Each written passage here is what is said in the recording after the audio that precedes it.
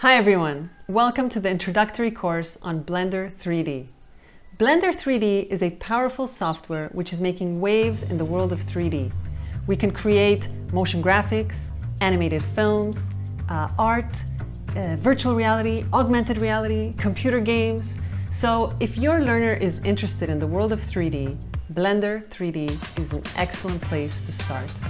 This Flex course is designed for children who are really beginning and starting to become interested in this world, which is part of a very promising field. So um, this is an exciting class because actually we will be collaborating with the rest of our peers um, in creating a floating island. This is using the low poly style, which is visually very pleasing, yet actually surprisingly simple to learn. So your learner is going to be quite motivated when they see what is possible.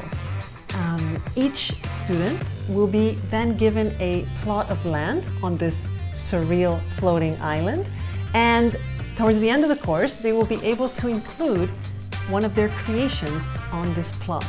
So together we will somehow be inhabiting this surreal floating island.